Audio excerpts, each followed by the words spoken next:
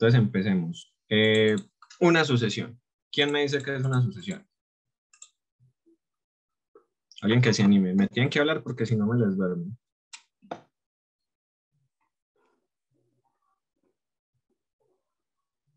Alguien, ¿quién se anima? Una sucesión. Es como una función, no, es como una función pues que en la que se van poniendo todos los valores.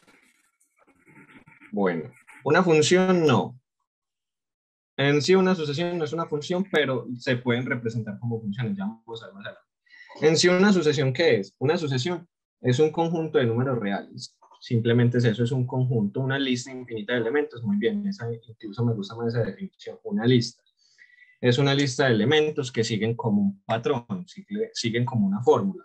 Por ejemplo, ustedes conocen la sucesión de Fibonacci, que va desde 1, 1, luego se suman los dos anteriores, o sea, 2, luego 3, luego 5, luego 8, y así hasta el infinito. Entonces eso es una sucesión, una lista de elementos de números reales que siguen un, un patrón. ¿Listo? Entonces a nosotros, ¿qué nos interesa saber de las sucesiones? Simplemente nos interesa saber cómo ese patrón o esa formulita a la que, la que arma toda esa, esa lista de. ¿Listo? Entonces, por ejemplo, pues una sucesión sencilla sería, no sé, eh, n al cuadrado. Esto podría ser una sucesión que cuando empieza en cero hasta el infinito, se va expandiendo, reemplazando ya simplemente el cero, yéndole a aumentar uno. Los que estudien eh, ingeniería en sistemas hayan visto eh, fundamentos de programación, pues saben que esto sería, por así decirlo, como un ciclo, entre comillas. Entonces, por así decirlo, sería 0, 1, 2, perdón, 0, 1, 4, 3 a la 2, 9, 4 al, cuadrado, 4 al cuadrado, 16 y así. Simplemente seguir esta reglita. Y esto pues se podría representar como una función. Listo. Hasta aquí bien como con la idea sencilla de que es una sucesión. Perdón. Muchachos. Bien hasta acá. Listo. Entonces, ¿qué nos interesa a nosotros estudiar? en las sucesiones. Nos interesa saber cuándo una sucesión converge o diverge. ¿Alguien me quiere decir qué significa converger y diverger?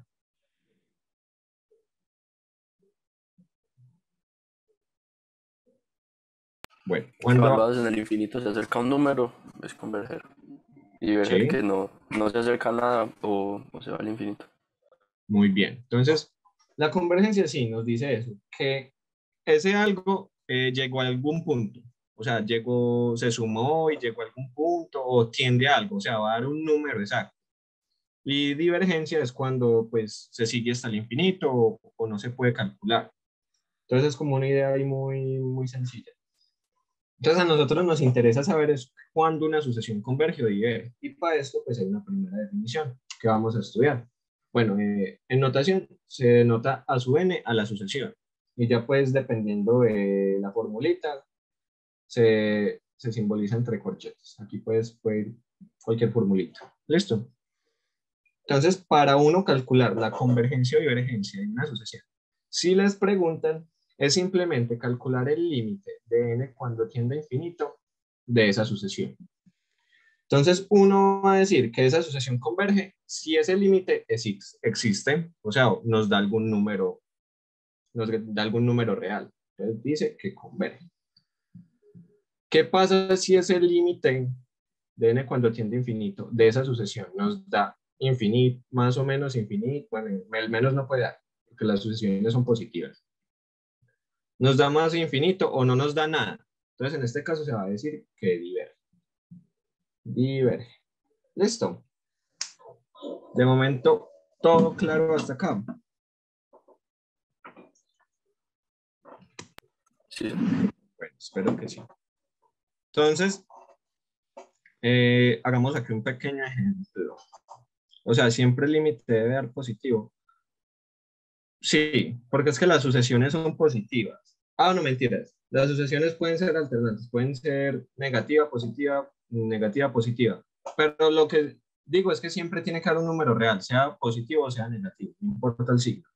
Entonces, que por ejemplo, si nos dio, ah, nos dio tres medios, esto es un número real, vea que está su número real, o sea, pum, converge. Si nos da infinito menos infinito, aquí me he equivocado, se dice que diverge. O si no, se puede calcular ese límite. Listo. Entonces, hagamos aquí un ejemplo muy sencillo. Nos dicen, determine si la sucesión converge o diverge. Entonces, cuando le pregunten por convergencia o divergencia, ustedes simplemente tienen es que calcular el límite. Y la sucesión es esta. 2n al cuadrado más 1, 3n al cuadrado menos 1. Listo. Entonces, ¿qué tenemos que hacer si nos preguntan por convergencia o divergencia? Calcular el límite. Entonces, va a calcular el límite de esto. Hoy estoy como un poquito perezoso, entonces no voy a escribir tanto. dn cuando tiene infinito. Listo. Entonces, ¿alguna idea para resolver este límite? Que aquí ya se convirtió en un problema de cálculo. Pues estamos en cálculo pero un problema de cálculo diferencial, cómo calcular un límite. Ideas para resolverlo. Dividir por n cuadrado. Dividir por n al cuadrado. ¿Todos están de acuerdo?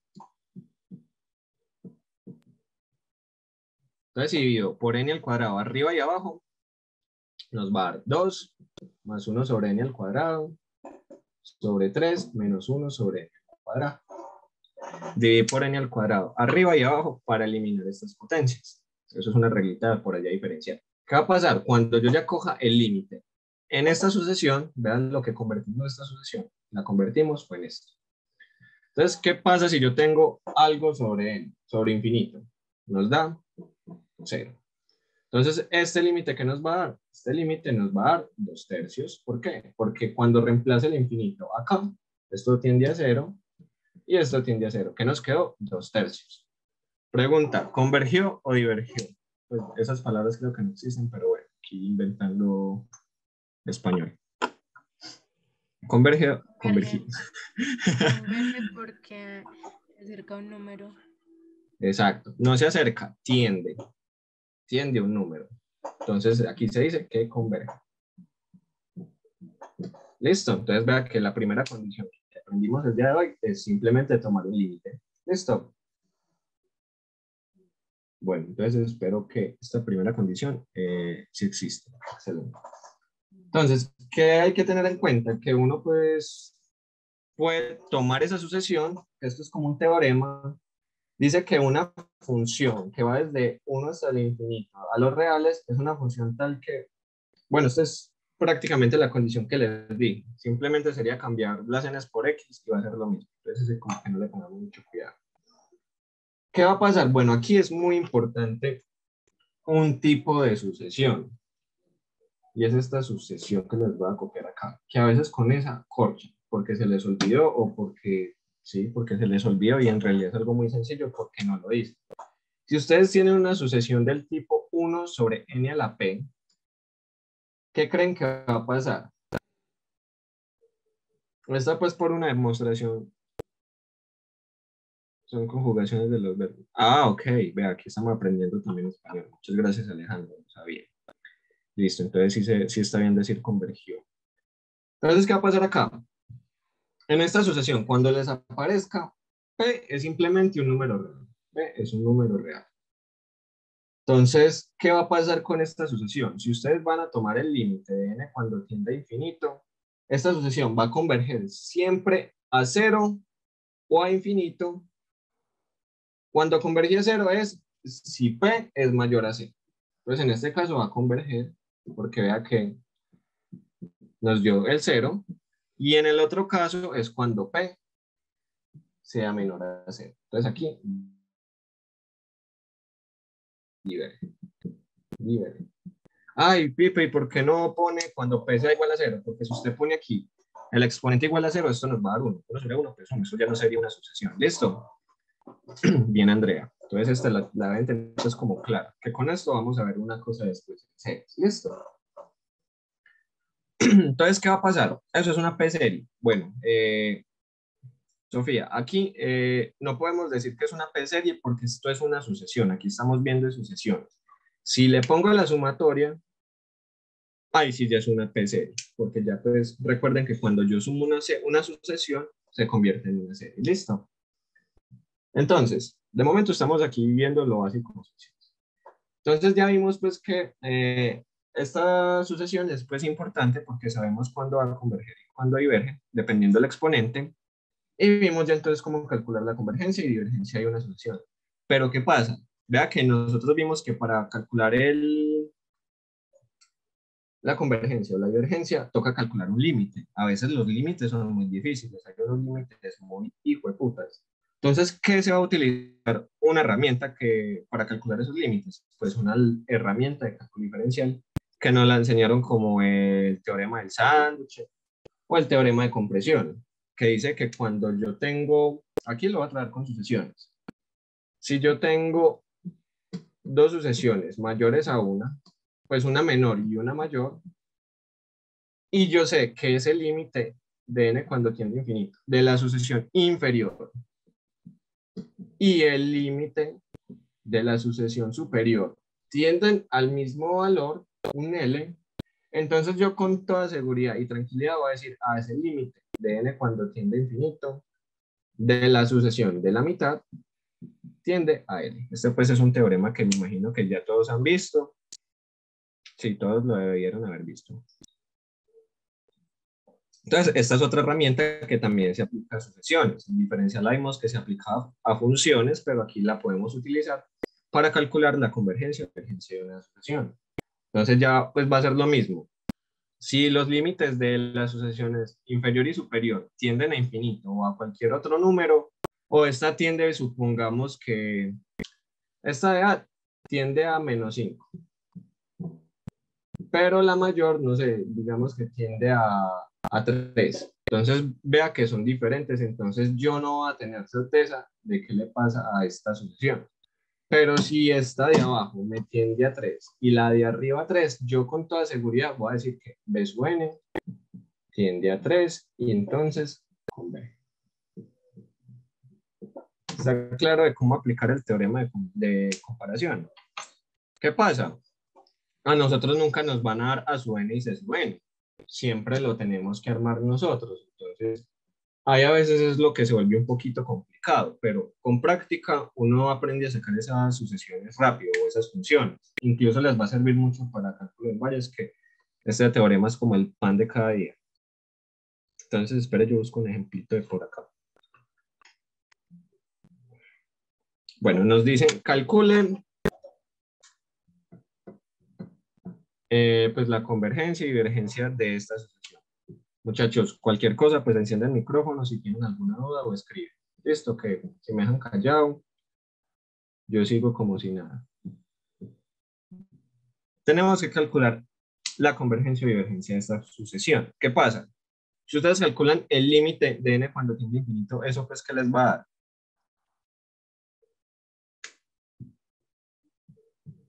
¿Qué les va a dar alguna idea? ¿O alguna idea Cero. nos va a dar? ¿Nos va a dar qué, perdón? Cero, no. Pues habíamos dicho que cuando tiende a infinito y está sobre n, es cero. Es cero. Eh, no, eso no habíamos dicho. Eh, ¿Quién habló?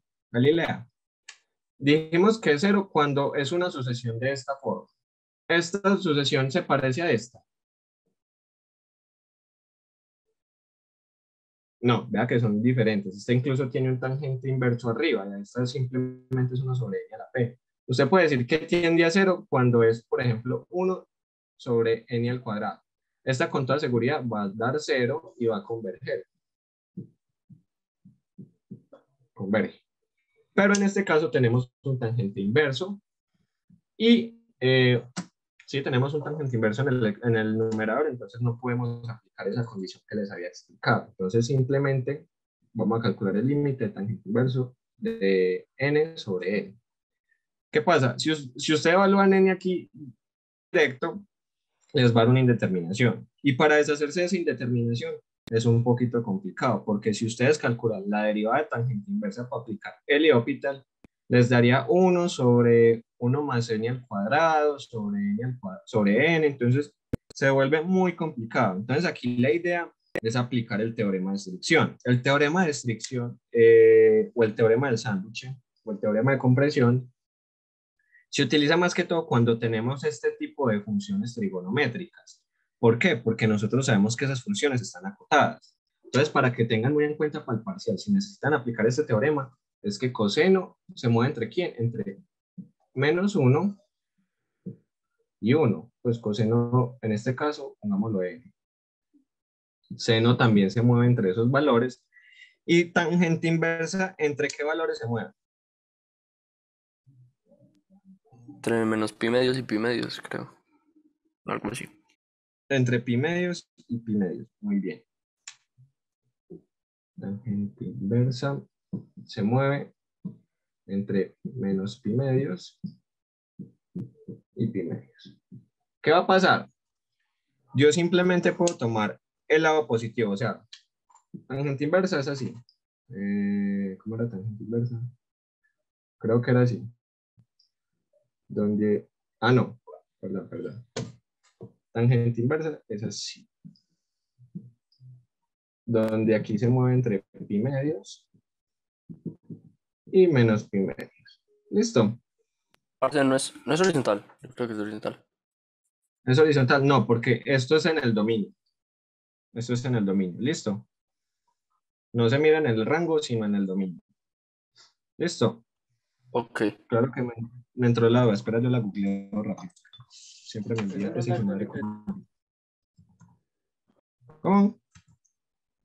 Esa no es la gráfica, pero de tangente normal. Voy a ver. Espérate que se me olvidó. Ahí me disculpan. Espera. Eso, la, la, gráfica de tangente normal es así periódica, ¿sí o qué? Es periódica. Y la de tangente inversa yo creo que es así. La tangente inversa es a ver, geográfico, a ver. A ver si esto cargar. Tangente a tangente de X. Ah, sí, tenían toda la razón. Es, es, es horizontal. Es así. Listo. Pues esa misma función, pero va pero también se va a mover entre los mismos entre los mismos intervalos. Corrección, se mueven en el, en el rango. ¿Listo?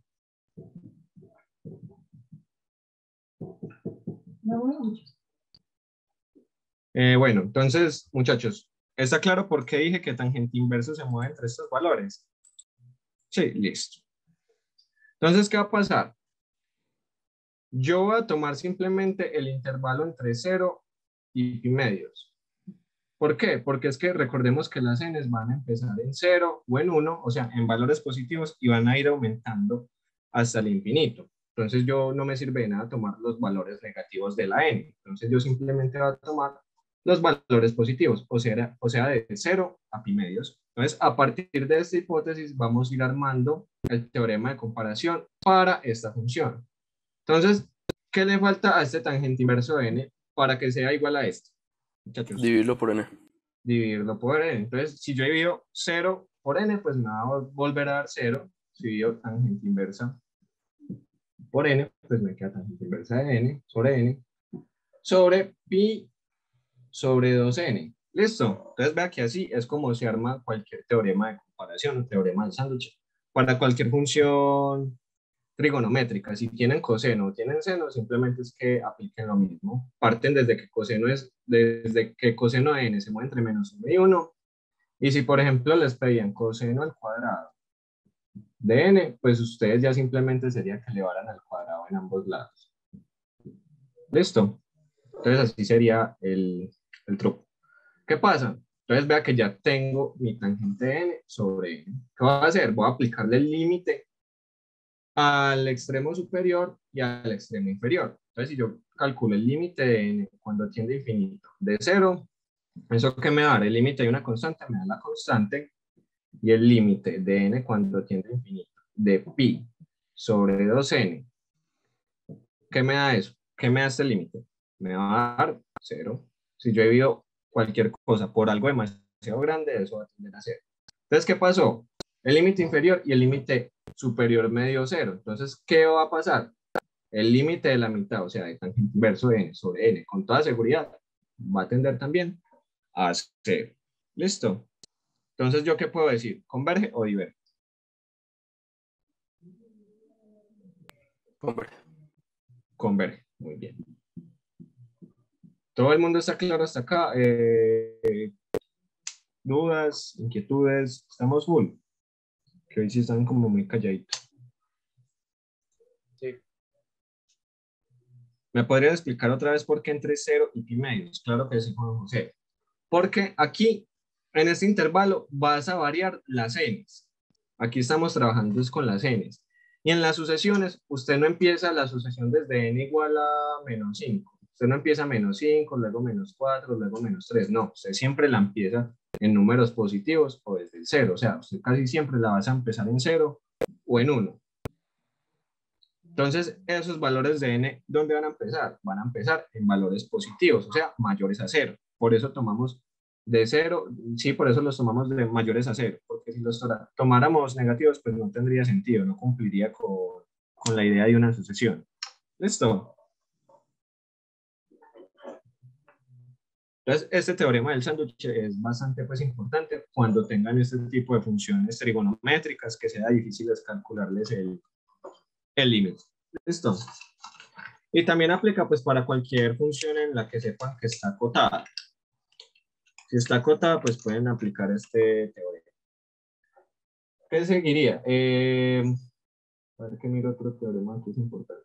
Ah, bueno, este otro también es muy importante. Ya no el de ahorita, el de la P. Es muy similar, yo creo que ya lo habrán visto.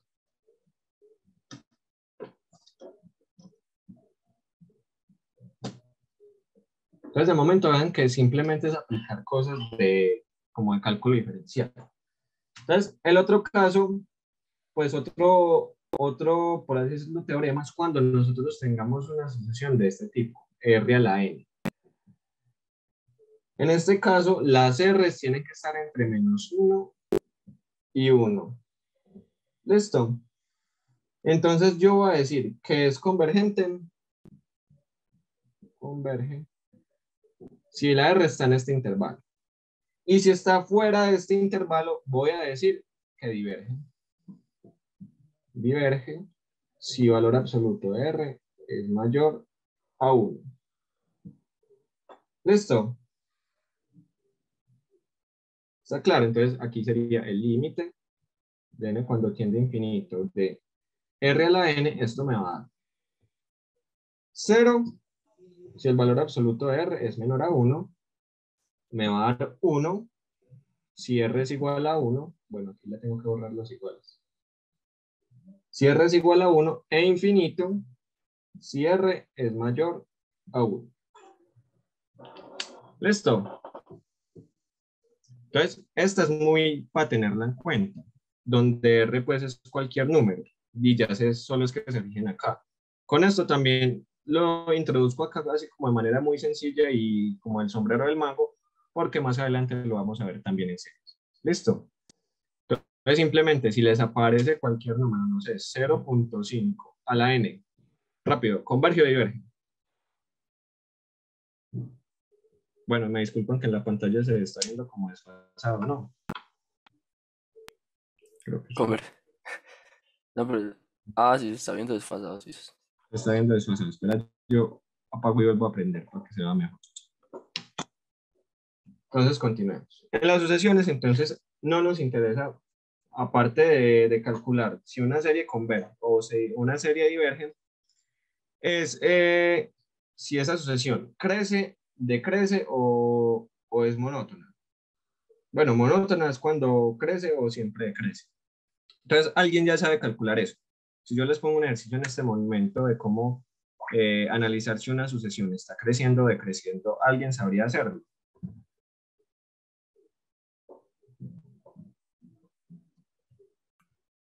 Pues hay como dos formas, ¿no? Bueno, por, la, eh, por la derivada y con el cociente de... Sí, exacto. Hay dos formas, aplicando cálculo diferencial, asumiendo que esa sucesión es una función y pues calcular el teorema de la primera derivada o eh, aplicando esto que les voy a explicar. Entonces vamos a decir que una sucesión es creciente si el cociente entre a sub n sobre a sub n más 1 es menor a 1 y vamos a decir que es decreciente, decreciente si este mismo cociente ocurre lo contrario, o sea, es mayor a 1. Listo. Y va a pasar a otro caso en el que se dice que es constante. Constante. Si este cociente a su n más 1 es igual a, eh, a 1, perdón. Y si no se sabe si es mayor o si es menor, eh, se dice que pues no, no, no se sabe. Las que crecen casi siempre son las de 1 sobre n. Mm, casi siempre. Casi siempre. Pero bueno, entonces, a partir de esto, simplemente es analizar la sucesión. Hagamos un ejemplo, pues que este se, se analiza más fácil con un ejemplo. Calculemos si una, si una sucesión crece o decrece a partir de esta. De que a su n es 3n menos 1 sobre 4n más 5 y tenemos que calcular entonces eh, el comportamiento. Entonces, ¿qué vamos a aplicar? Y ya viendo mucho desfase, parce. ¿Cómo? Se está viendo muy, mucho desfase. Porque ya escribiste vos, ¿no? Sí, ya escribí. Sí, mm, pues qué Demasiado, demasiado. Pues mm. en el video está escribiendo A sub n. bueno, sí, yo estoy ya pues, haciendo otra cosa. Ay, espérate, ¿alguien sabría cómo corregir ese desfase? Sí, se está viendo ya. Entonces, muchachos, ¿qué queríamos hacer? Queríamos calcular, eh, analizar si esta sucesión crece o decrece. ¿Cómo lo vamos a hacer? Aplicando estas reglitas. Simplemente, ¿qué tenemos que hacer cuando les pregunten por crecimiento de crecimiento? Aplicar este cociente. Donde en el numerador, pues va a ir la sucesión que nos dan o sea, 3n menos 1 sobre 4n más 5. 3n menos 1 sobre 4n más 5. ¿Están viendo cómo copio? Sí. Creo que sí. Sí. Y en el denominador va a ir esta misma sucesión, pero sumada a 1. ¿Listo? Entonces, para yo no dividir toda, simplemente la voy a invertir y le voy a sumar 1 donde esté la n. O sea, n más 1 más 5 sobre 3 n más 1 menos 1. ¿Está claro cómo llegamos acá? ¿Quién confirma? Sí. ¿Todos están bien? Eh, bueno, para los que no, rapidito. Aquí simplemente apliqué que si yo tengo una fracción a sobre b y la divido por otra, c sobre d, aplicamos la reglita de la oreja. Entonces me va a quedar eh, a por d por B sobre C.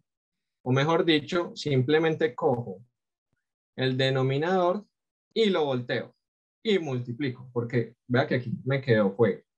Eh, a ver, yo qué hice. Es al revés, esto, es más mal. Es A por D sobre B por C. Entonces, ¿qué nos quedó acá? Nos quedó simplemente el mismo A sub B, A sobre B por D sobre C. Entonces, vea que si ustedes quieren dividir por otra fracción, simplemente es que volteen esa fracción y multipliquen. Es lo mismo que apliqué acá. Yo tenía que dividir por esta sucesión, pero sumándole uno al argumento n. Entonces, simplemente, ¿qué hice? La volteé y la multipliqué para no hacer una división, que me parece más fácil hacer una multiplicación que una división.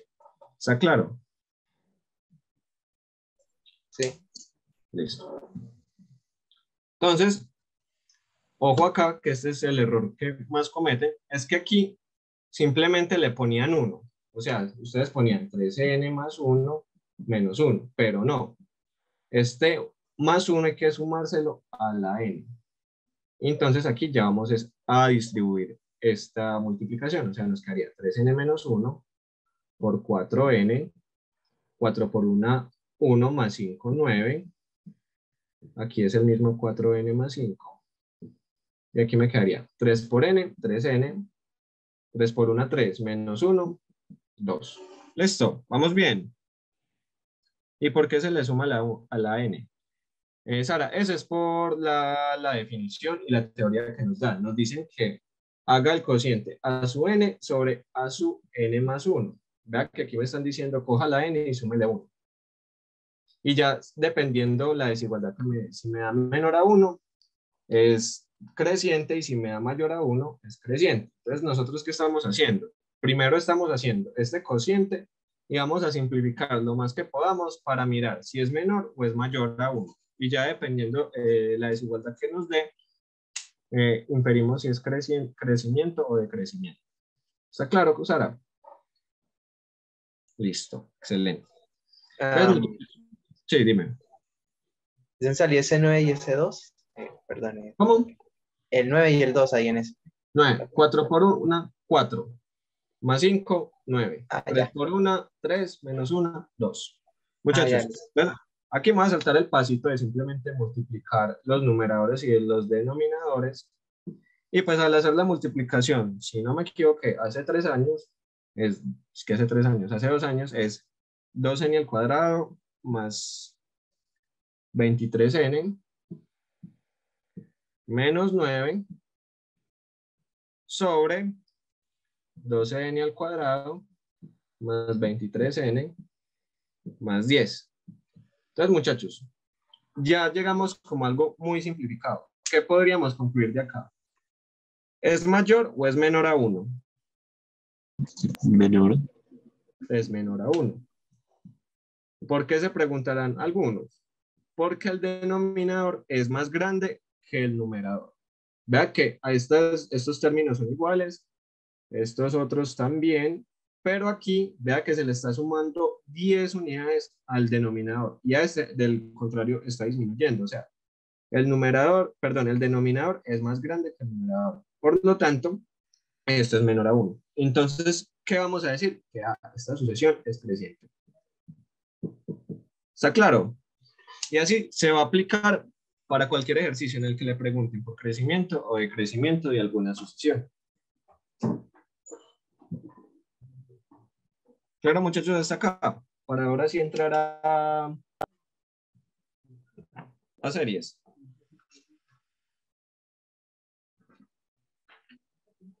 Listo. Entonces ahora sí empezamos. Todo esto era como un abrebocas para entrar a serie. Entonces, ¿qué es una serie? Una serie simplemente es la suma de una sucesión. Es la suma de una sucesión.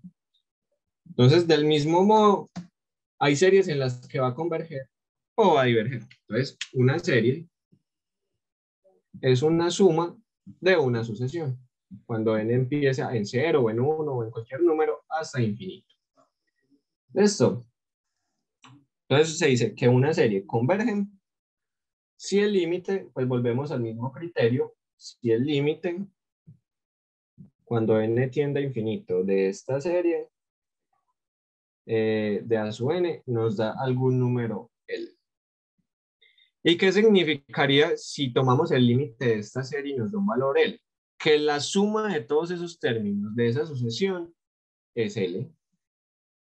¿Me hago entender? O sea, si ustedes quieren calcular la suma de una sucesión, o mejor dicho, pues cuánto da una serie, simplemente calculen el límite, cuando n tiende infinito, y el número que les dé es ese, es ese valor de la suma. Y cuando da un valor real, se dice que converge. Y en lo mismo que pasa en las sucesiones. Si a infinito no se sabe qué da, se dice que diverge. Eso es ahí como lo general. Claro, acá entonces. Vamos full. Pipe, yo tengo una pregunta. Sí. No, no diverge cuando, cuando el límite de la serie es diferente de cero. Bueno, eso es un caso que ya vamos a, mirar. ¿Listo? Pero no, o sea, no, se cumple para todas, porque eh, había entendido que, pues, para que una serie converja tiene que ser decreciente. Bueno, sí, sí, sí, sí. Pero, ¿qué va a eh, pasar? Bueno, esto es como una noción, no es que para todos los ejercicios vayan a calcular el límite directo. Esto simple es una noción muy, ¿cómo decirlo? Muy informal. Ya vamos a ver todos los teoremas demás para calcular bien este límite, porque ya toca analizar es cómo está esa serie. si es creciente, si es decreciente, y ya a partir de eso se va a analizar si es absolutamente convergente y muchas otras cosas más, pero en sí simplemente se va a partir de esta idea. ¿Listo? Ver, gracias. Entonces, el primer tipo de serie y el más importante es la serie geométrica. Yo creo que esta ya la habrán visto por ahí. ¿Qué va a pasar con la serie geométrica? La serie geométrica simplemente es una serie que tiene esta forma. Obviamente que es una sumatoria de n igual a 1 hasta infinito de una constante a que multiplica a r n a la menos 1. n a la n menos 1. ¿Listo? Entonces, esta es como una formulita. Simplemente va a converger a este valor que nos lo dan de gratis, que es a sobre 1 menos r para los R menores a 1. Y nos va a dar que divergen si la R es mayor a 1. Entonces vea que esta, esta serie sale de la sucesión que les mostré ahorita, de la R a la N. Entonces, a partir de esa sucesión se puede demostrar esto, pero pues la demostración a ustedes no les va a aportar como mucho, simplemente se va a llegar a esta formulita. De que si usted quiere mirar si esta serie geométrica converge, mire que el R esté entre menos 1 y esté entre 1 y ya simplemente haga el cociente entre la constante A sobre 1 menos R. ¿Listo? Entonces, la mayoría de ejercicios de series geométricas simplemente te van a dar una, una serie y tú la tienes que llevar a esta forma, donde una constante esté multiplicando otra constante, pero esa constante esté elevada a la n menos 1. Ya vamos a ver ejemplos. ¿Listo? Entonces, este es como el mejor comodín que van a tener para resolver series a lo largo pues, de, de lo que falta del curso. Hagamos, por ejemplo, esta serie. Nos dice, determine si la serie converge o diverge. Entonces, yo sé que lo que más dificultad se le está dando a ustedes es enfrentar los ejercicios. Entonces ya vamos a empezar como viendo los trucos. Nos dicen calculen si la serie converge o diverge y nos dan esta serie. 5 a la menos n por 4n a la más 1. ¿Ustedes qué aplicarían acá? ¿Cómo empezarían a afrontar este ejercicio? Primero que todo, esto tiene pinta como que, pues como de serie geométrica y una P-serie, para los que ya hayan visto la, la P-serie. Entonces, muchachos, esto, eh, se puede llevar a una geométrica muy sencillo. ¿Cómo? Aplicando eh, leyes de los exponentes. Entonces, siempre que tengan algunas constantes elevadas a la n, simplemente llévenla a una geométrica y, va a ser mucho más sencillo. Entonces, nosotros tenemos que llegar a algo de la forma a por r a la n menos 1. ¿Qué tenemos que hacer? Convertir este, estos exponentes en n menos 1 y ya mirar las constantes para aplicar la formulita. Entonces, ¿yo qué voy a aplicar acá primero? Primero voy a decir, voy a reorganizar. Recordemos que cuando tengo algo con un exponente negativo, es eso, es el inverso. O sea, 4n más 1 sobre 5 a la n. ¿Listo? ¿Está aquí claros? Bueno, espero que sí. Eso es un paso muy sencillo. ¿Y ahora qué voy a hacer? Voy a llegar a este exponente. ¿Cómo? ¿Alguien me podría decir con qué ley de los exponentes yo puedo pasar de un n más, 1 a un n menos 1? Simplemente recordemos esta propiedad. Si yo tengo a por a la b por a la c, esto simplemente se puede ver como a por b más c. O sea, si tengo eh, mismas bases, yo puedo sumar los exponentes. Entonces yo voy a pasar de 4n más 1 yo quiero llegar a 4n menos 1. Entonces, ¿qué le tengo que aplicar a esto para, para que sea equivalente a esto? Simplemente multiplicar por 4 a al cuadrado. 4 al cuadrado. ¿Por qué? Vea que tengo las mismas bases, entonces los exponentes se van a sumar, o sea, va a ser 4n menos 1 más 2 va a ser más 1, vea que se cumple la igualdad. Entonces, si yo quiero pasar de un exponente de este tipo a uno que tenga n menos 1, simplemente voy a sacar la misma base y voy a mirar qué exponente tengo que aplicarle para que cuando lo sume se cumpla la igualdad. ¿Me hago entender ahí? Sí. Bueno, entonces esto se va a convertir en 4 al cuadrado por 4n menos 1. Vea que si los juntos se va a cumplir la igualdad, simplemente los expresé de otra manera que me conviene a mí. Y de la misma manera y con la misma idea, ¿cómo va a quedar entonces el denominador? 5 por 5n a la menos 1. 5 por 5n a la menos 1. ¿Alguien, ¿Alguien tiene duda en este paso? ¿O todos están full? Parce, ¿por qué 4 a la 2? 4 a la 2.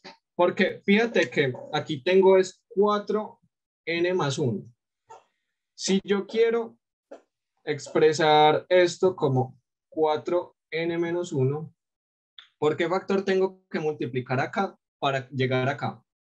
O sea, si yo multiplico por 4, me va a dar 4n menos 1 más 1, o sea, me va a dar 4n. Y vea que yo necesito un más 1, entonces simplemente le voy a agregar un 2. O sea, va a ser 4n menos 1 más 2, que eso que me da, me da más 1. Claro. Sí, gracias. Entonces, este es uno como de los primeros truquitos que les quería enseñar. Cuando necesiten convertir unos exponentes de este tipo, simplemente pueden sacar la cantidad de factores que necesiten para expresarlo de esta manera. Muchachos, pregunta, ¿aquí ya estamos en una serie geométrica? Sí, Sí, ya estamos. Simplemente lo voy a reagrupar aquí más bonito. Voy a decir que esto es 4 al cuadrado sobre 5. Como estos números, estos valores tienen el mismo exponente, yo los puedo agrupar dentro de un paréntesis como 4 quintos sobre, por, a la n menos 1. Perdón, que es como un poquito enredado hoy. Cuando la serie de, empieza en 1 hasta entonces, muchachos, aquí ¿quién me hace el papel de A? Este, este número y este paréntesis me hace el papel de R. Pregunta, ¿este R está entre, un, entre menos 1 y 1 o es mayor a 1? Es menor a 1. Es menor a 1. ¿Por qué? Porque el denominador es mayor que el numerador. Entonces, como es menor a 1, yo simplemente puedo aplicar la formulita que me dice que es A sobre 1 menos R. Entonces, apliquémosla. A sería 4 al cuadrado es 16 sobre 5 sobre 1 menos 4 quintos. Y ya sería simplemente resolver pues esta operación que es sencilla. ¿Estamos claros hasta acá?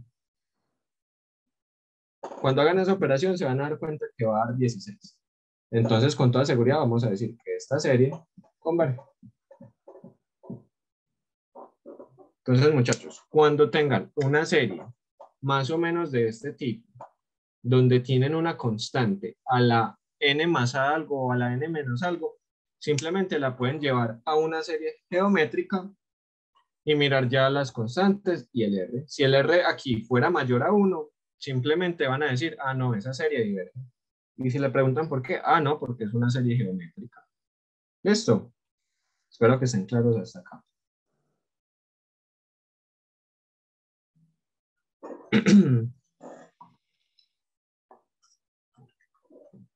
Muchachos. Mariana, claro que sí. Dudas, inquietudes. R-1.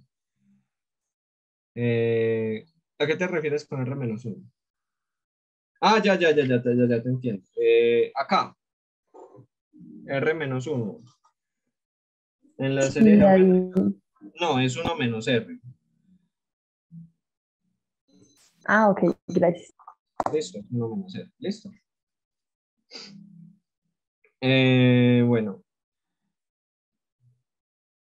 Una serie que es muy importante para aplicar teoremas de comparación, teoremas del sándwich, es la serie geométrica. Para los que les gusten la música y no sé, si son muy tesos en música, ya de pronto la han visto en teoría musical, que es simplemente esta serie que es la sumatoria de 1 sobre n. La sumatoria de 1 sobre n. Esta serie se llama la serie armónica y esta serie siempre es divergente. Siempre es divergente. Entonces, si se encuentran a esta serie, esa es la serie armónica y con toda seguridad eso va a ser divergente. Eh, Sebastián, R mayor a 1 no diverge. Sí, las R mayor a 1 diverge. Listo. Pero en el caso que habíamos hecho, la R era menor. Entonces, esta serie es muy útil para aplicar eh, teoremas de comparación. Listo, y ya vamos a ir para esos teoremas. Pero primero tengo que mencionar este teoremita. Que muchachos, este teorema es de lo más bobo que hay. Pero en un parcial les puede caer porque si les cae un punto teórico, podría caer este teorema. Y si no lo tienen en cuenta, bailan. Pueden que pues no sepan cómo hacerlo.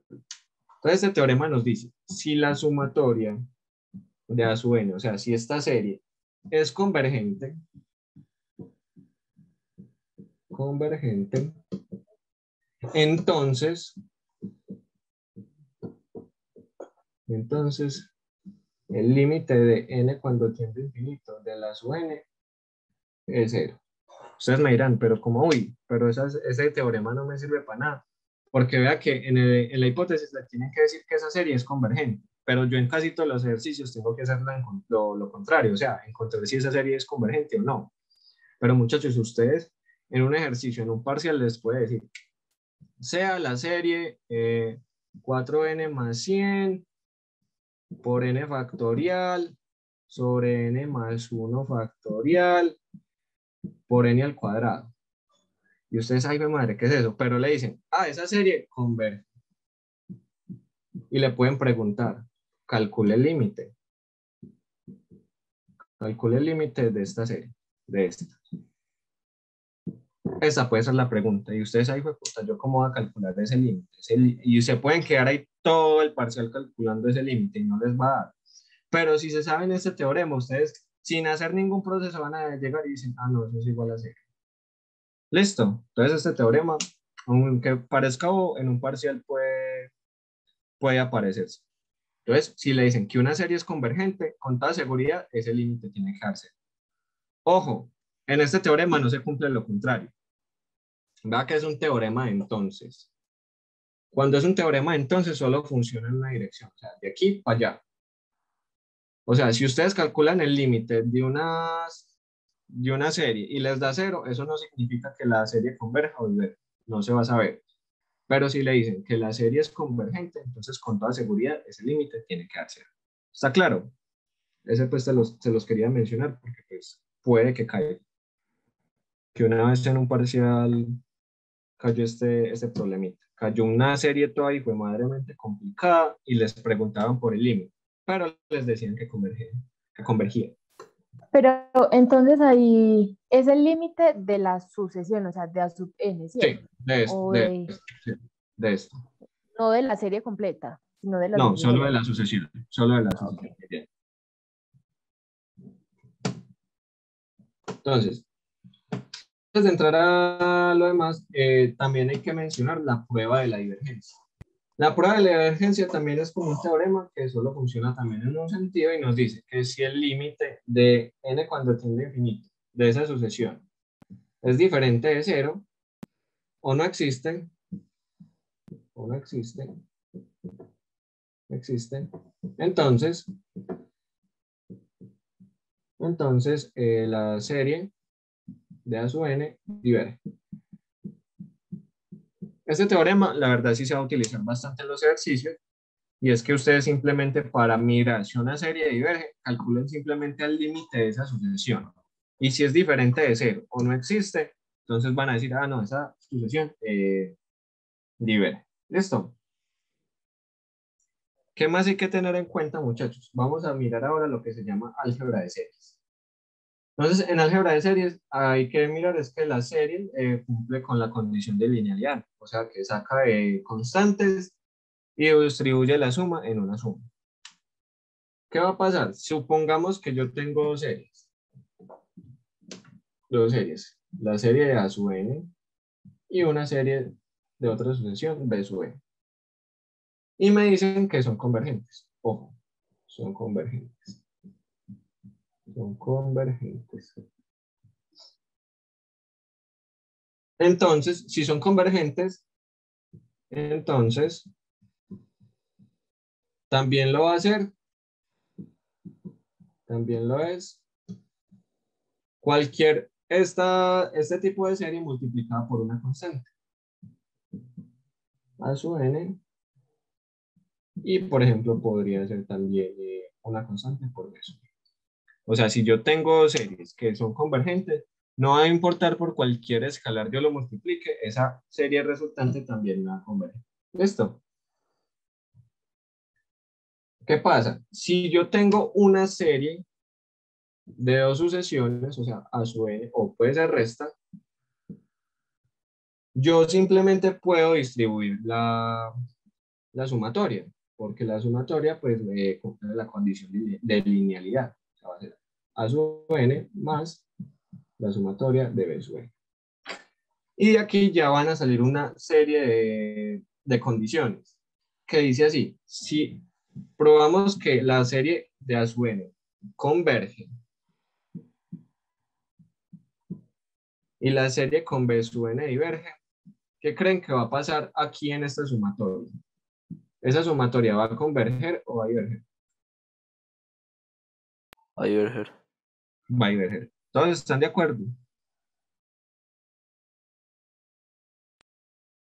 Va diverger. ¿Por qué, muchachos? Porque la divergencia es como si tuvieras algo infinito. Y si a algo infinito le sumas o le restas algún número, pues me va a seguir dando infinito. Entonces, si estas dos cosas eh, me dan, o sea, si una converge y la otra diverge, entonces yo voy a decir que esta serie diverge.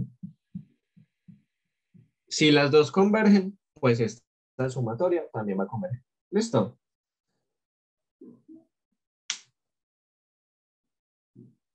Bueno, muchachos, la de hoy, pues repito, es como bastante teórica para tener cosas en cuenta para el taller del viernes. Hasta aquí vamos full. ¿Tienen preguntas precisas o vamos bien? Pipe, el viernes entonces sería que el taller este que, pues el que mandaron. Ah, bueno, eh, muchachos, eh, yo le había comentado a los que entraron de primero. Yo, con todo el cariño, les quería, quería hacer ese taller, incluso pues mandárselos escaneado y hacer el taller, pues, sobre ese taller de repaso. Pero la verdad sí estoy demasiado acogido porque pues yo también yo estoy viendo cinco materias y en ellas pues también estoy cerrando semestre. Entonces no he tenido como tiempo de, de preparar el taller de repaso que les habían enviado. Yo hace como un mes pues cuando acabé de dar el taller para el segundo parcial, había armado ya talleres pues con otros puntos de talleres viejos, de parciales viejos, para darlo en esta semana. Entonces voy a hacerlo más bien es en base a ese que ya tengo listo, porque la verdad sí no me da tiempo como de de resolverles el taller de repaso. Ahí me disculpan. Ah, listo, gracias, parce. Bueno. A continuación les voy a comentar sobre la prueba de la integral. Ustedes dirán, como hoy por fin apareció pues una integral en esto. Y sí, pues simplemente vamos a tomar eh, una serie como si fuera una función. O sea, yo voy a decir que f de x, pues la puedo tomar como eh, una serie, como una sueño. ¿Qué va a pasar? Recordemos por propiedades, cuando vimos integrales impropias, que si yo tengo una integral de 1 infinito de f de x de x y esta integral me converge, pues por el teorema que les estoy comentando de prueba de la integral, yo voy a decir que esta serie converge. Solo les estoy mencionando los teoremas y las condiciones, porque pues en clase se las demostrarán, pero pues si yo me pongo a demostrárselas, eh, no, no les va a aportar como demasiado. Y lo mismo va a pasar si diverge. Si esta integral diverge, entonces a esa serie también va a ir. Entonces, si yo tengo una serie y le preguntan por convergencia o divergencia, ustedes simplemente pueden tomar a la función como la sucesión. Ahorita me he equivocado, simplemente es que van a tomar a f de x como la sucesión. Simplemente reemplazan las n por x y pueden tomar esa integral. Que entonces ya pueden tomar la integral pues, por partes, por todos los métodos que vimos en, en el primer parcial y analizar eh, la convergencia o divergencia. Si las convergen, entonces esa serie va a converger. Si no, De lo contrario, va a diverger. Hagamos un ejemplo. Nos dicen, determine pues si la serie converge o diverge. Entonces aquí ya es otra herramienta para analizar eh, las series. Nos dan esta serie n por e a la menos n, con n igual a 1. Entonces nos preguntan por lo mismo, convergencia, divergencia. ¿Ustedes qué aplicarían acá? Aquí simplemente notemos que si nos imaginamos estas n como x, ¿qué tengo? Una función pues como sencilla, yo creo que la hicieron demasiado y es muy fácil de resolver esa integral. Entonces, por prueba de la integral, yo voy a calcular la integral desde 1 hasta infinito de esta función, o sea, de x por Euler a la menos x. ¿Cómo calculo esta integral? ¿Quién recuerda? De x. ¿Quién recuerda cómo resolver esta integral? Por sustitución. Si tú haces una sustitución con u igual a x, te va a quedar Euler a la menos u por u, o sea, vas a llegar a lo mismo. Entonces, muy bien, Juan José, esta integral se puede resolver por partes, donde la u va a ser el papel de x, el de u va a ser de x, el de b va a ser Euler a la menos x, ¿y quién va a ser el v? Va a ser menos Euler a la menos x. ¿Listo? Entonces aquí ya simplemente es que apliquen eh, partes, simplemente que aquí ya es una integral impropia, entonces ustedes pueden hacer el cambio de variable, el límite de t cuando tiende a infinito, y aquí reemplazan a la t. La regla del ganado, ah no, de la vaca. Sí, la regla de la vaca.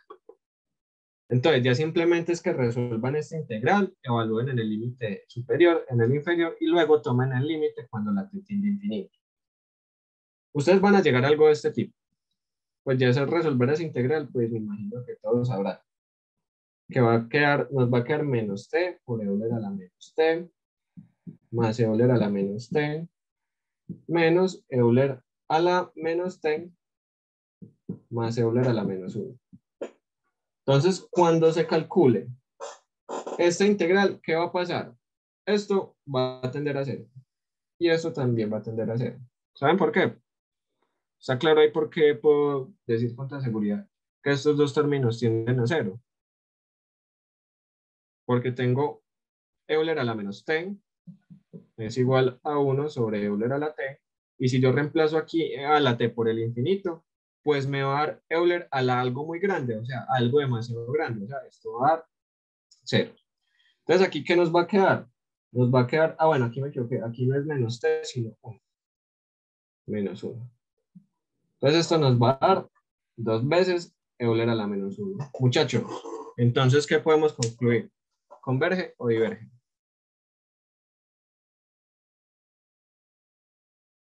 Converge, por lo que acabamos de ver. Si yo, si yo pruebo que esta integral converge, entonces con toda seguridad la serie también va a converger. Converge. Claro cómo se aplica la prueba de la integral. Vean que es algo más sencillo. Cuando ustedes vean una serie que se parezca como una función sencilla de integrar, ustedes simplemente cambien las n por las x, integren con las reglas que ya aprendimos cuando, con los límites de integración de 1 a t y simplemente eh, hagan la integral y, y la analicen. Ojo, si la n empieza en 0, la integral también la tienen que empezar en cero. ¿Listo? Serían como esos dos posibles casos, que n empiece en cero o que n empiece en 1. Espero que esté claro hasta acá, muchachos. ¿Vamos bien?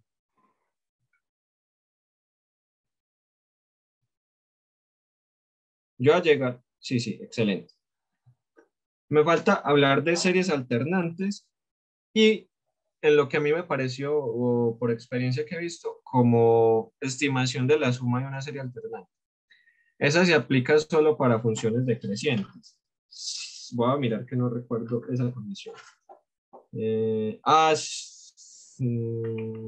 espérate, miro el... Ah, sí, muchachos. Gracias, Camilo, por recordarme. Para aplicar la prueba de la integral, prueba de la integral, solo aplica para series, series decrecientes. Entonces ustedes me vieron todo feliz aquí cambiando de una vez la sucesión por una función, pero yo qué debía haber hecho primero? Probar que esta serie, perdón, que esta sucesión es decreciente. ¿Cómo la haríamos? Voy a probar aquí en una carrerita el decrecimiento de esta sucesión. Simplemente era que hiciéramos el cociente entre n por Euler a la menos n sobre n más 1 por Euler a la menos n más 1. Muchachos, ¿cuál es más grande? ¿El de arriba o el de abajo? Es más grande el de abajo. Entonces esto me va a dar menor a 1, o sea, es decreciente. Entonces, si ustedes prueban primero de que es decreciente la sucesión, con toda seguridad pueden aplicar la prueba de la integral. ¿Listo? Muchas gracias, Camilo, por, por ese detalle. Más 0.5 en el parcial. O también, sí, también se puede hacer el, eh, por el criterio de la derivada. Si no quieren hacer, ah, bueno, para probarlo el decrecimiento, sí. Ustedes pueden derivar, igualar a cero, encontrar los puntos de corte y mirar eh, en qué intervalo, bueno, con el criterio de la primera integral, sí. Miran si, si crece o decrece la función. Esa es otra herramienta. Pero en este caso, pues mira que si simplemente reemplazabas, eh, en hacías el consciente, porque si derivas esto, te tocaría derivarlo por la regla del producto, entonces pues ya es un poquito más de cálculo y se prestaría para algún error por ahí bobito. Hace una pregunta. Sí, dime. Si yo derivo, tiene que darme que la derivada sea positiva para que yo pueda decir que es creciente. en este caso, la es que decreciente. Que tenemos que probar que me dé negativa. Que te dé negativa, exacto. en el intervalo donde vas a tomar esa serie, o sea, entre 0 y infinito o entre 1 y infinito. ¿Listo? Recuerden que para analizar el crecimiento y crecimiento de las funciones por medio de derivadas, tenían primero que derivar eh, la función y analizarla en el punto crítico. Si era así, eh, no recuerdo, hace tiempo no asesoría de diferencial. Sí, creo que era así. Tenían que analizarla en un intervalo. Más, espera, yo... Bueno, ahorita reviso eso para explicarles cómo hacerlos por diferencial, ¿les parece? Entonces, muchachos, otro tipo de serie son las series alternantes.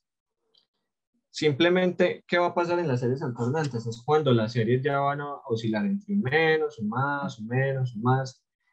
¿Y qué va a cambiar en esa serie? Simplemente va a aparecer un término de menos 1 a la n o a la n más 1. Y eso que multiplica a una sucesión. Entonces, ¿qué va a pasar, muchachos? Dependiendo eh, el exponente del menos 1, simplemente nos va a decir que va a empezar el menos en el primero o en el segundo término de la serie. ¿Listo? Entonces, ¿qué va a aparecer acá? Vamos a mirar el criterio de Leibniz o la prueba de la serie alternante para mirar lo mismo, cuando la serie converge o cuando la serie diverge. Entonces, si nosotros tenemos una serie alternante de este tipo, con la sucesión positiva, ojo, y satisface estas dos condiciones. Que la sucesión su n sea decreciente. Decreciente. O sea que a su n más 1, que a su n más 1 sea más grande que el numerador. Y la segunda condición es que el límite de n cuando tienda a infinito de esa sucesión, si me da cero, entonces yo voy a decir converge. Entonces, si ustedes les ponen una serie alternante y ustedes ven que esta sucesión es decreciente y que el límite de esa sucesión da cero, entonces con toda seguridad pueden decir a esta serie alternante converge. ¿Por quién? Por el criterio de Leibniz. ¿Listo? El criterio de Leibniz es, este, es estas condiciones. Ah, listo. ¿Qué va a pasar? Si aquí el límite les da diferente de cero o infinito, entonces ya esa serie va a diverger. ¿Por qué? Porque no cumplió el criterio de Leibniz. ¿Listo?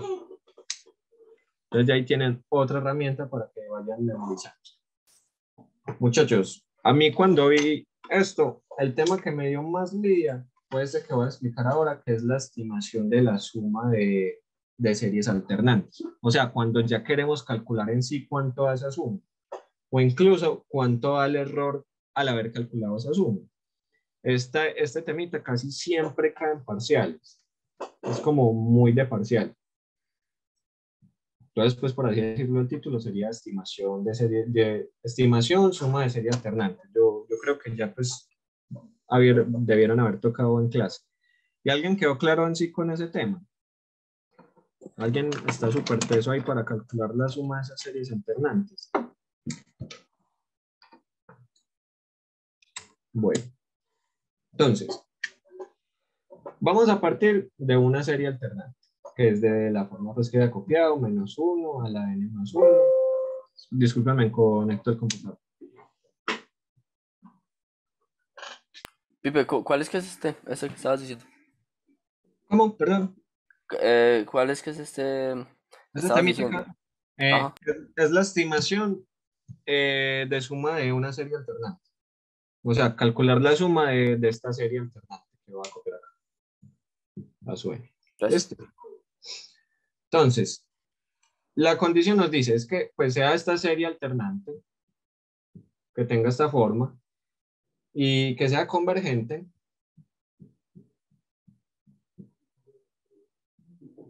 Espérate. Eh, sí, que sea convergente. Y si definimos la suma como pues la serie de menos 1 a la n más 1, aquí simplemente es pura carreta, no, pues, no le tienen que prestar mucha atención.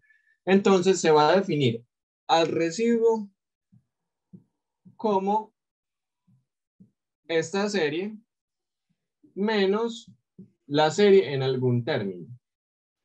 Y esto va a tener que ser menor a, a su n más 1. Listo, esta es como la, la, teoría. Ya voy a mirar un ejemplo que la verdad este es más, más fácil explicarlo con ejemplo. Bueno, entonces eso es lo que nos dice. Que si usted quiere calcular la suma de una, de una serie alternante, simplemente defina la suma pues como la serie alternante, eso es lo que es, pero define el residuo como esta suma, como la serie menos la serie en algún n. ¿Por qué? Porque en los ejercicios de este tipo calcule la suma o el residuo o el error, siempre nos van a decir, eh, calcúlela con tres lugares decimales o con cuántos términos, o sea, con cuántos n voy a calcular eso. Entonces, hagámoslo mejor por un ejemplo. Entonces nos dicen, calcule la aproximación de esta serie alternante de n cuando tiende a cero hasta el infinito, de menos 1 a la n, sobre n factorial. ¿Listo? Entonces, primer paso que tenemos que hacer, probar de que esta sucesión a su n es convergente. ¿Listo? Para poder aplicar esto. Entonces, yo simplemente voy a reescribir aquí esta sucesión para que quede más bonito, o sea, menos 1 a la n por 1 sobre n factorial. O sea, este es mi a su n. Entonces, yo tengo que probar de que esta sucesión a su n es convergente. ¿Cómo lo va a hacer? ¿Alguna idea? con lo que ya hemos visto para probar esa convergencia? Puede ser por, por la integral. Mm, bueno, nosotros no sabemos calcular integrales con factoriales, ¿verdad? Que aquí hay un factorial. Entonces, aquí podemos aplicar el teorema de comparación.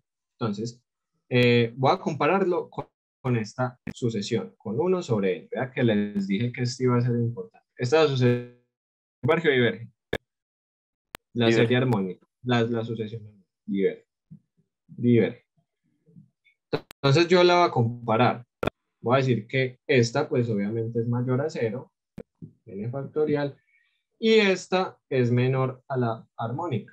¿Por qué? Porque aquí abajo tengo un producto de muchos números, de n números. En cambio aquí simplemente va a ser Sn. Entonces esta va a ser más pequeña porque tiene un denominador mayor. Y como yo sé que esta diverge, Ah, bueno, muchachos, ojo, esto diverge si es una sumatoria. Yo dije que es una sumatoria. No, yo no dije que es una sumatoria. Entonces ahí, perdón, discúlpeme con esa confusión. Estoy tomando es la sucesión, no la serie. Si es una serie, sí verse con toda seguridad, pero estoy tomando simplemente la sucesión. Entonces, ¿yo qué voy a hacer? Simplemente voy a aplicar el límite a esta sucesión que acabé de sacar. O sea, el límite de n cuando tiende a infinito de 1 sobre n. ¿Y esto qué me da? Me da 0. O sea, me dio un número real, o sea, converge. ¿Por qué? Porque estoy trabajando es con sucesiones, no con series. ¿Listo? Entonces, como el límite de la superior me dio 0 y esta sucesión que me interesa está atrapada entre 0 y 0, entonces esta sucesión de la mitad también tiende a 0. O sea, esta sucesión a su n converge. O sea, ya probé lo primero que tenía que comprobar, de que ese a su n converge. ¿Listo? Bueno, esperemos que esto aquí estén claros. Entonces aquí, claro, en el ejercicio nos dicen, calcule, eh, calcule la aproximación de esta serie menos 1 a la n sobre 1 factorial, sobre 1n factorial en tres lugares decimales. En tres lugares decimales. En tres lugares decimales. ¿A qué se refieren con lugares decimales? ¿En qué término de la expansión de esta serie va a haber eh, un 0.00 eh, algo? Algo, cualquier número de ahí para allá. ¿Por qué? Porque es que yo necesito un término en la sumatoria, en la serie, para aplicar este residuo. Entonces yo necesito encontrar en cuál n el término me va a tener tres lugares decimales. ¿Cómo podemos aplicar eso? Simplemente verificando eh, esta sucesión, esta serie, eh, en los términos 0, 1, 2, 3, 4, 5, 6, 7, hasta que encontremos esos tres lugares decimales. Entonces voy a empezar. En n igual 0, ¿qué me da esto? Me va a dar menos 1 a la 0, menos 1 a la 0. ¿Alguien sabe? 1. 1. Sobre 1 sobre 0, o sea, 0. Entonces la sumatoria en 0 me va a dar 1. Trabajemos mejor sin el menos 1 que no nos aporta nada. En n igual 1 me va a dar 1 sobre 1 factorial, 1. En n igual a 2 va a ser la sumatoria en 2, o sea, 1 eh, sobre 2 factorial es, es 1 sobre 2, o sea, 0.5. Y así nos vamos a ir con todos los términos. Desde S sub 3 hasta que encontremos eh, los tres lugares decimales. Entonces, muchachos, si ustedes siguen así, nos vamos a dar cuenta que en S sub 6 nos va a aparecer los tres lugares decimales. Y en ese sub 7, pues ya nos pasamos. Nos va a dar 0.00019. Muchachos, qué pena. De momento vamos bien hasta acá. Yo sé que este tema pues es un poquito enredado y ahora imagínense explicarlo una vez enredado. Ahí me disculpo. Cualquier cosa porque estamos viendo más que todo teoría.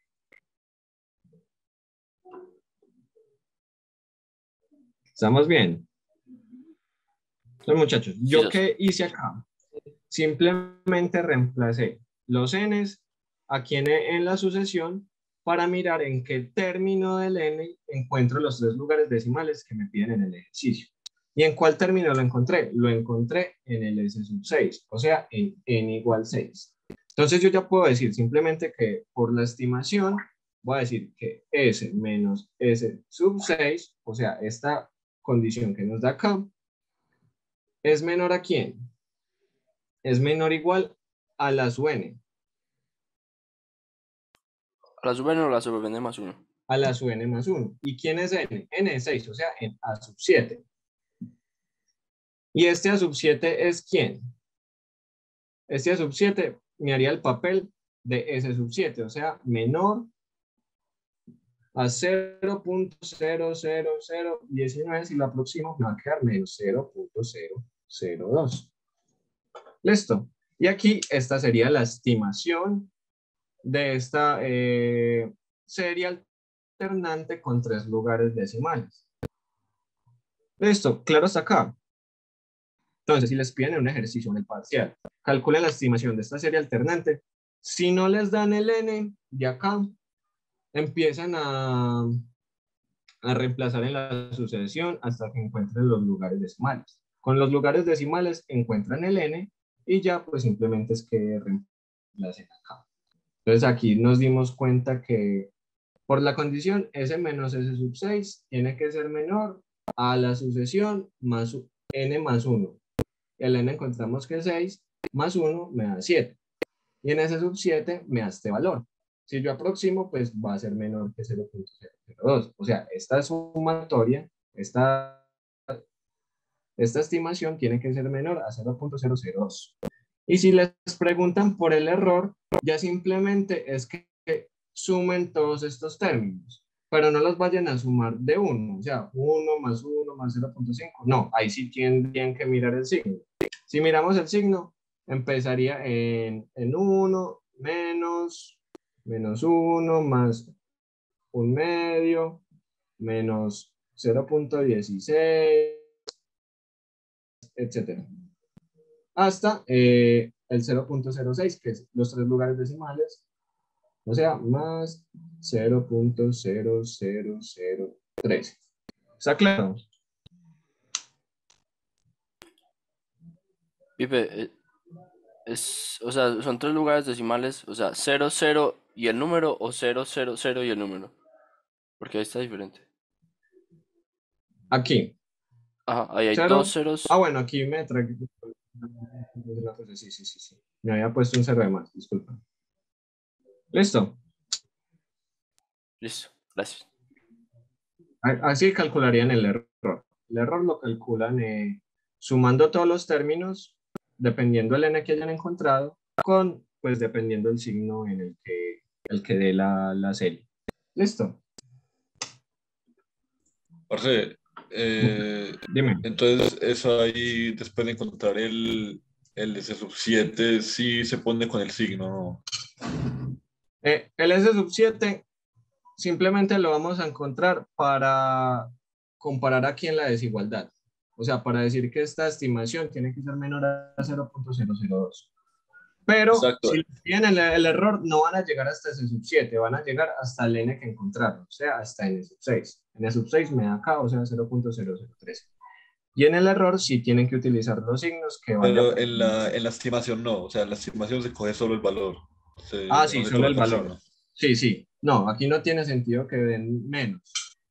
Sí, Tienen que ponerlo eh, con positivo porque están trabajando con es la sucesión. Listo, la sucesión es positiva. El signo lo pone este otro término.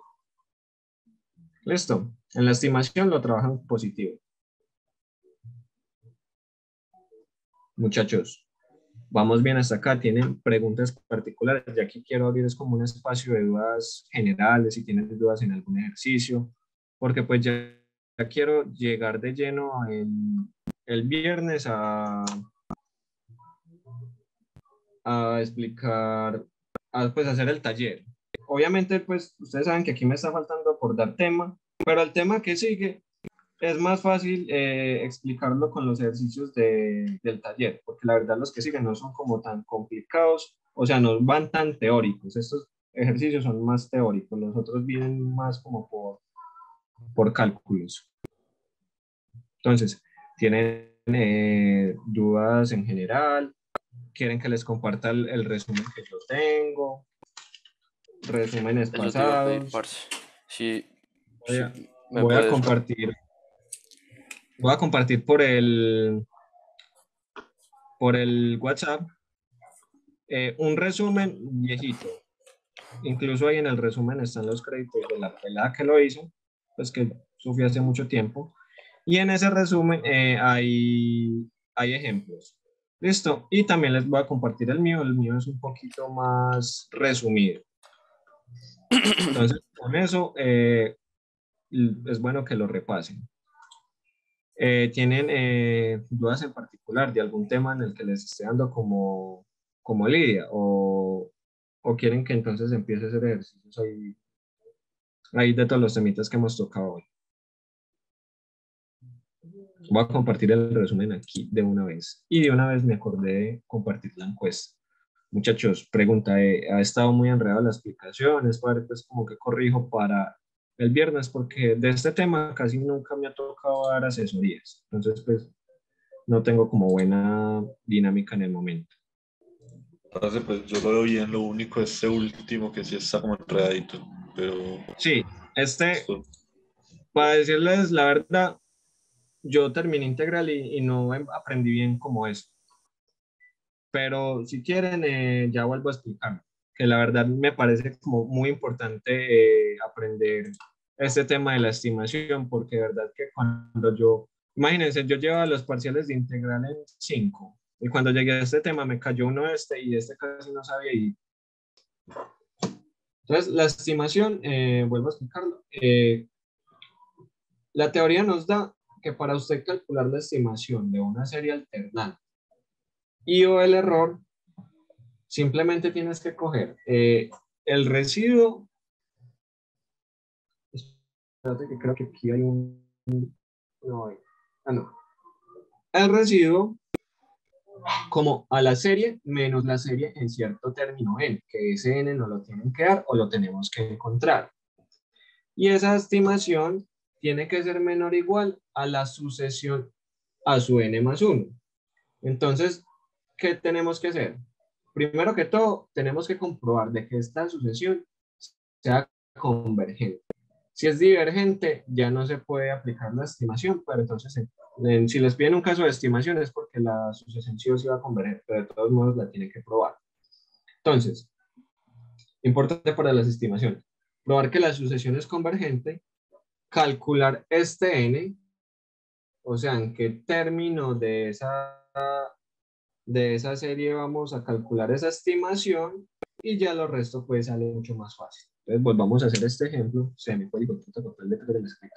Entonces, eh, vamos a hacer el ejercicio, lo voy a copiar aquí más formal, pero ya después que lo entiendan. Nos dice, calculen la aproximación de esta serie alternante de n igual a 0 este infinito de menos 1 a la n sobre n factorial en tres lugares decimales. En tres lugares, lugares decimales. Decimales. Entonces, aprendamos a desarmar este ejercicio. Con los tres lugares decimales vamos a encontrar el n. Y ya lo otro lo tenemos que probar a partir de acá. Entonces, pregunta, ¿cuál es la sucesión? ¿Cuál es mi sucesión a su n de esta serie? Es 1 sobre n factorial. Para las sucesiones no vamos a tomar en cuenta el factor menos 1 a la n a la algo. Porque ese menos 1 a la n simplemente pone el signo que es lo que hace a la, una, serie, a una serie alternante. Una serie alternante eh, oscila entre más, menos, más, menos, menos. sí. Entonces simplemente tomamos a la sucesión como 1 sobre n factorial. ¿Qué tenemos que hacer? Mirar si es convergente. ¿Cómo vamos a mirar la convergencia de esta sucesión? Vamos a compararla. ¿Con cuál la voy a comparar? Con esta sucesión. Voy a decir que b sub n es igual a 1 sobre n. ¿Por qué? ¿Cuál es más grande? Es más grande b sub n que a sub n. ¿Por qué? Porque aquí tengo un n factorial. ¿A qué se refiere con un n factorial? Que va a multiplicar a todos los términos antecesores a n hasta n. Entonces aquí va a tener una multiplicación, siempre me va a dar un número mucho más grande. Entonces aquí voy a tener un número muy grande en el denominador. En cambio, eh, entonces esta sucesión va a tender como a cero. Se va a ir como para cero. Pero pues tengo que probar. En cambio, esta va a ser más grande porque el n va a ser más, más pequeño que este, o sea, b sub n va a ser más grande. ¿Estamos claro ahí o, o estuvo enredado ahí la explicación de por qué b sub n es más grande? Bueno, creo que está bien. Entonces yo voy a hacer la comparación. Voy a decir que 0 es menor que 1 sobre n factorial y esto es menor que 1 sobre n, pues por lo que acabé de decir. Entonces, por el teorema de comparación, si yo pruebo que, este, que el límite de esta sucesión tiende a cero, entonces con toda seguridad la sucesión de la mitad va a tender también a cero. Entonces, esta es muy fácil de probar, el límite de n cuando tiende a infinito de 1 sobre n es 0. Esto es muy fácil. Todo esto es igual a 0. Por lo tanto, a sub n converge. Entonces, eso era lo primero que teníamos que comprobar, de que la sucesión converge. ¿Listo? Entonces, ahora, ¿qué tenemos que hacer?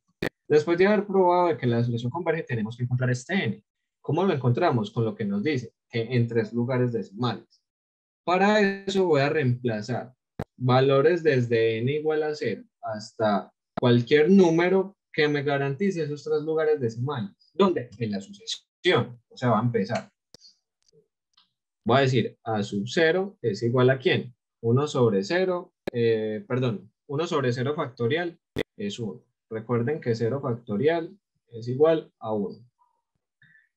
A sub 1 va a ser 1 sobre 1 factorial, 1. A sub 2 es 1 sobre 2 factorial, que es 2, o sea, un medio, o mejor dicho, 0.5. A sub 3 va a ser 1 sobre 3 factorial, que me da 0.16. Aquí pues lo voy a hacer para todos los números. A sub 4 me va a ser 1 sobre 4 factorial y eso da 0.041. A sub 5 va a ser 1 sobre 5 factorial, o sea 0.08. Eh, 0.08. 0.08.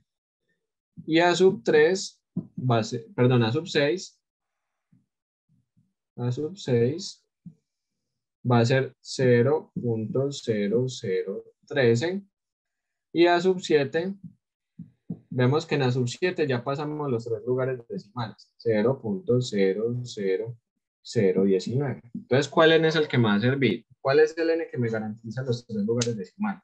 con los tres lugares decimales pues se refieren a los números de aquí después del punto con coma entonces ustedes simplemente se van a fijar bueno entonces se preguntarán ¿por qué no en a sub 5? porque si ustedes aproximan eh, acá esto se puede aproximar como 0.01. O sea, tendríamos aquí como dos lugares decimales. Entonces, ¿cuál es el que mejor me aproxima los tres lugares? Me aproxima mejor el A sub 6. O sea, concluimos de que n va a ser igual a 6.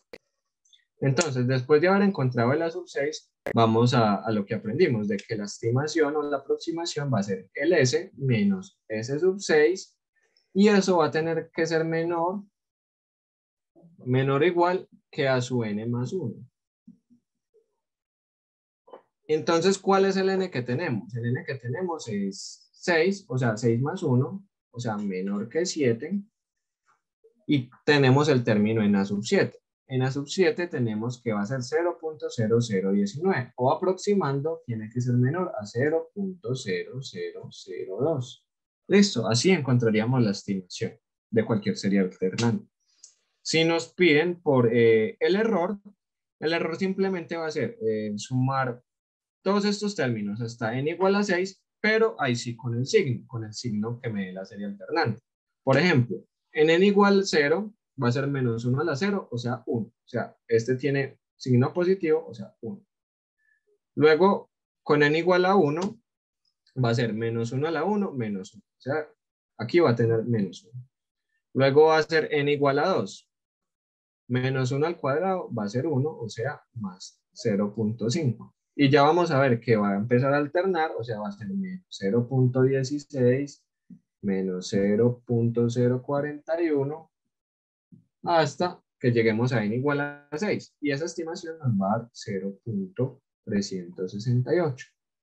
Entonces, el error que cometimos al calcular la estimación de esta sumatoria alternante con tres lugares decimales fue de 36.8%, pero pues así serían estos ejercicios. ¿Quedó más claro que la explicación de ahorita? Excelente.